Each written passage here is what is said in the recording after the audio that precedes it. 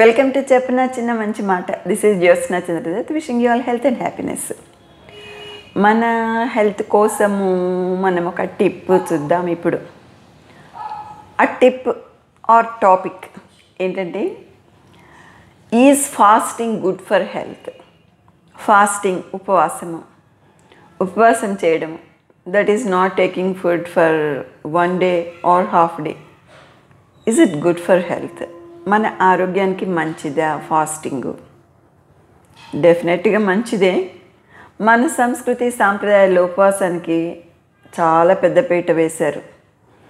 ఏకాదశి రోజు లేకపోతే పౌర్ణమి రోజు కార్తీక మాసంలో శ్రావణ మాసంలో కొన్ని రోజులు అండ్ వారంలో ఏడు రోజులు ఒక్కొక్క రోజుకి ఒక్కొక్క దేవుడికి ప్రీతిగా భగవంతుడికి ప్రీతిగా ఉపవాసం ఉండటము చాలా కామన్.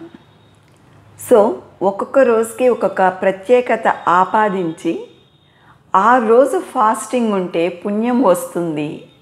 మనం అనుకున్న కోరికలన్నీ కూడా నెరవేరుతాయి అనే అభిప్రాయం ఉంది. మరి అట్లా చూసుకుంటే ఆదివారం సూర్య భగవానుడికి ప్రీతిగా ఉపవాసం ఉంటారు. సోమవారం శివుడికి ప్రీతిగా ఉంటారు. నెక్స్ట్ మంగళవారము ఆంజనేయ స్వామికి బుధవారం సరస్వతీదేవికి అయ్యప్ప స్వామికి అండ్ గురువారం సాయిబాబా కోసము శుక్రవారం లక్ష్మీదేవి కోసము శనివారం ఏమో వెంకటేశ్వర స్వామి కోసం ఇట్లా ఒక్కొక్క భగవంతుడికి ఒక్కొక్క దేవత దేవుడికి ప్రీతిగా మనము ఉపవాసం ఉండడం అనేది ఒక ఆచారంగా కూడా మారిపోయింది. ఆనవాయితీగా కూడా ఉంది. మరి ఇవన్నీ ఎందుకు చేస్తారు? ఏదో మొక్కుకుంటారు. కొందరికి అలవాటు ఉంటుంది. నేను ఉపవాసం ఉండాలి. భగవంతుడి కోసం. లేకపోతే నేను ఈ మొక్కు మొక్కుకున్నాను. ఇది తీరాలంటే నేను కొన్ని నియమాలు పాటించాలి. ఈ నియమాల్లో ఒకటి ఉపవాసము. ఇట్లాగ అనుకోవడం వలన ఉపవాసము చేస్తూ ఉంటారు. మరి ఉపవాసం చేయడం వలన ఆరోగ్యపరంగా కూడా బెనిఫిట్స్ ఉంటాయి. పుణ్యం పురుషార్థం అంటారు చూడండి. ఉపవాసం చేస్తే పుణ్యం వస్తుంది అంటారు పుణ్యం వస్తుంది కోరిన కోరికలు కూడా నెరవేరుతాయి. అండ్ దెన్ పురుషార్థం పురుషార్థం అంటే మనకి బెనిఫిట్ కలిగించేది. అఫ్ కోర్స్ కోరికలు నెరవేరడం అంటే మనకు మనకి కోరికలు తీరుతున్నాయి అది మనకి బెనిఫిటే. కానీ ఆరోగ్యపరంగా కూడా మనం కొన్ని బెనిఫిట్స్ని పొందుతాము. సో పుణ్యం వస్తుంది పురుషార్థం కూడా డెఫినెట్గా ఉంటుంది. మరి ఈ ఫాస్టింగ్ వలన ఎట్లాంటి ప్రయోజనాలు ఉన్నాయి? బెనిఫిట్స్ ఉన్నాయని తెలుసుకుంటే ప్రతి ఒక్కరు కూడా ఫాస్టింగ్ చేయాలి ఒకరోజు అని అనుకోవాలంటూ ఉంటారు. మరి ఈ ప్రయోజనాలు first and foremost thing is that మన ఆయుర్దాయం పెరుగుతుంది. మనము ముసలితనానికి ఓల్డ్ ఏజ్కి వృద్ధు కావటానికి వృద్ధాప్యానికి ఒక ఆమడ దూరంలో ఉంటాం. అంటే వృద్ధాప్యాన్ని ఆమడ దూరంలో మనము మెయింటైన్ చేయడానికి ఫాస్టింగ్ అనేది చాలా చాలా ఉపయోగిస్తుంది. ఇది చాలా మందికి తెలియని విషయము. So let us follow it and then బ్లడ్లో షుగర్ లెవెల్స్ చక్కగా ప్రొడ్యూస్ అవుతుంటాయి చక్క కంట్రోల్ చేయబడుతూ ఉంటాయి ఇన్సులిన్ చక్కగా మెయింటైన్ అవుతూ ఉంటుంది.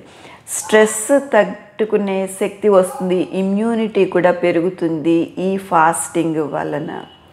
అండ్ మంచి కాన్సన్ట్రేషన్ మన మనసు ఎప్పుడు కూడా భగవంతుడి మీదే లగ్నం చేసి ఉంటాము కాబట్టి ఉపవాసం చేసే రోజున ఉంటాము ఉండాలి కాబట్టి కాన్సన్ట్రేషన్ డెఫినెట్గా పెరుగుతుంది. మన కాన్సన్ట్రేషన్ ఎప్పుడు పెరిగింది బ్రెయిన్ యాక్టివ్గా ఉంటుంది.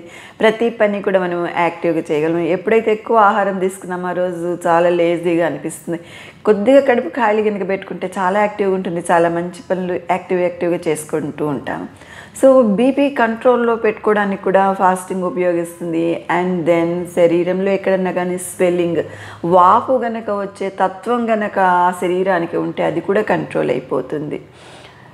మనము ఒకరోజు ఏమీ తినకపోతే న్యాచురల్గా మన బాడీలో ఉండే ఫ్యాట్స్ కొవ్వు పదార్థాలన్నీ కూడా కరగడం మొదలు పెడతాయి అట్లా జరిగినప్పుడు చెడు కొలెస్ట్రాల్ అంతా కూడా కంట్రోల్ అయిపోతూ ఉంటుంది. క్యాన్సర్ ఆర్థరైటిస్ లాంటి డిసీజెస్ కూడా దూరంగా ఉంటాయి.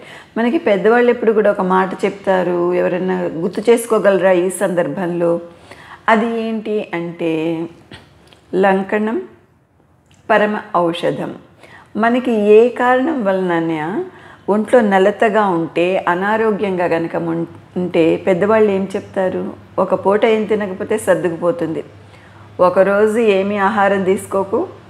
You will be all right tomorrow ఇట్లాంటి మంచి విషయాలు చెప్తూ ఉంటారు. అంటే ఉపవాసం అనేది ఉపవాసం అంటే ఫుడ్ తీసుకోకుండా ఆహారం ఒక రోజు కానీ ఒక పూట కానీ తీసుకోకుండా ఉండటం ఇది ఎంత మంచిని చేస్తుందో చూసాం కదా? ఇవి చెప్పడానికే మనకి పెద్దవాళ్ళు లంకణం పరమ ఔషధం అని కూడా చెప్తూ ఉంటారు.